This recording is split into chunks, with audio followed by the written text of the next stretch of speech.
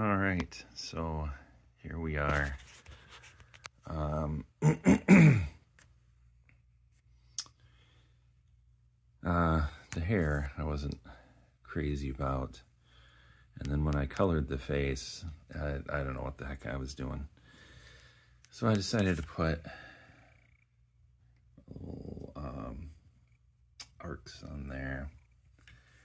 And then I decided to do some shapes um, in the hair also to make it look a little more like something. I don't know.